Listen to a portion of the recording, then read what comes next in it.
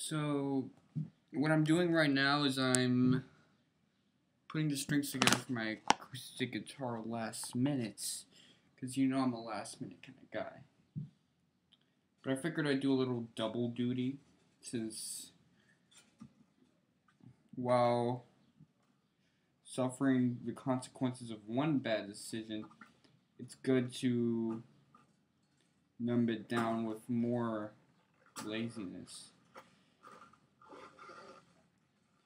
So I figure I'd talk to you guys about the state again, as usual. It's sort of my mediocre forte. And there's only one reason someone would use a state. What's that reason? Well, a state, well, normal government charters out property to other people, including itself. A state claims sovereignty over various areas of which which there might not be property that's chartered to them. In other words, they claim areas that have already been chartered to somebody else or for the public. And when you think about this, one thing always comes to mind is that what good is it for? I mean, what is accomplished out of that? Well, there's one thing that's accomplished out of that, and that's the opportunity to make an empire. Because now you have an ability to claim other nations, other areas even though their laws and your laws and their values, customs, charter property, and public interest may be completely different from yours. But now you can obtain revenue from them, and with that, you can build a nice empire. And this has created good. I'm not going to say that states have created nothing but evil But what happens after the empire has been made? What happens after the project is a success? Well, what happens is that what's left for the state to do, the, the empire is already made. Look at the Romans. Their empire was already made. And then what happened after that? What happened after they went from the Republic to the Empire and those great emperors, well, then they had shitty emperors. They had shitty emperors that had no interest in the public or in the private matters, or even the state itself that they operated upon. They were only interested in ascending a hierarchy. Nothing more, nothing less. They were just as faithless in that society as probably the people that knew it was going to fall.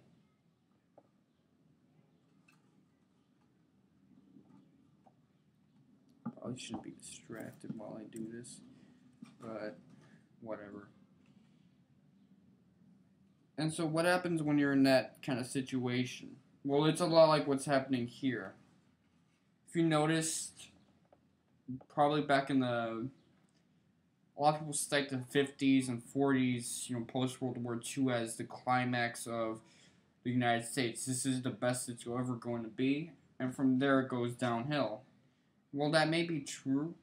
It's only up until the mid 90s, the Clinton years, where hope really disappears. Why? Because at that point, now it's funny. Now politics isn't boring anymore. It's funny as hell. Not because the people in politics are charismatic, entertaining, brilliant, tell the truth, tell lies, provide historical value, but because it's a game now. I mean, Clinton and all that shit he was engaging himself in.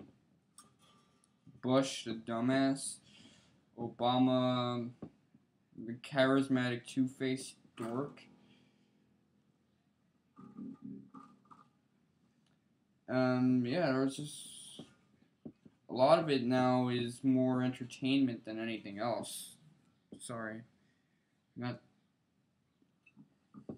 I'm not John Cena when I try to do that.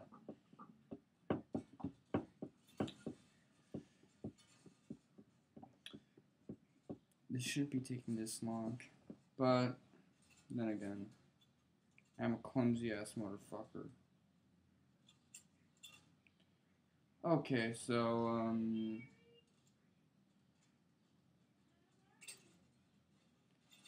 such an overbearing family. Look at the way they talk to each other. It's like they're four year olds. Or not four year olds.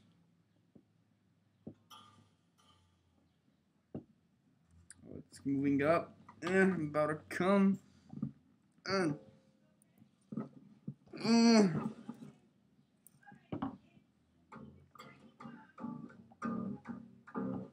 Success. Yatta. All right. I hope. I mean, the nut is a little up. Let me push it down. Uh, is it aligned properly? I mean, I know that there's that little groove that should be in, but this is my first time, guys. Hold on. Uh. Uh,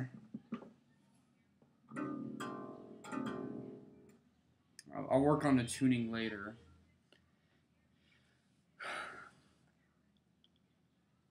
Whole minute without saying it of. But anyway, what where do we infer from this? We infer that empires have done good economically, socially. States have done good consequentially. Well, obviously. But after that, where do you go? After all that economic brilliance, where do you go from there? Well, you have to go to a point where government still exists, state is more importantly still exists, but what's the state man there for? If the empire is already made, then what's he going to do? Is he going to try to preserve the quality of the empire? Does that even give him anything? Possibly. But I don't think that'd be a very rewarding job. Self sustaining an empire when we already have the components. The state at that point becomes worthless. So all those who participate in it, unless they're just there to govern, are mostly there for themselves to ascend upon a hierarchy. After all, they can't make a double empire. They can't make the empire into a bigger world power. So what's there left to do?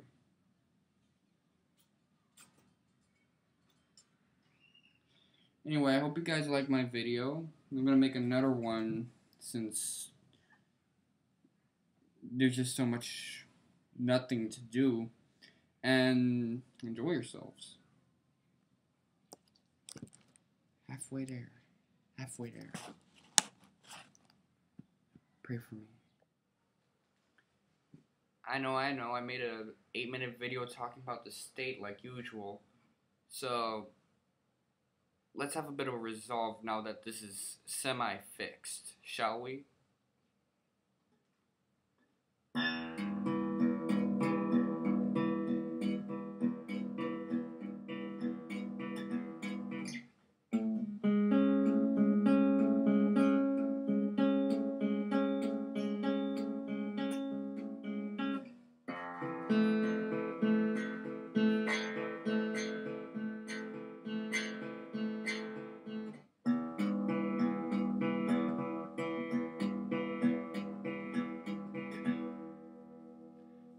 Get better with technique, guys.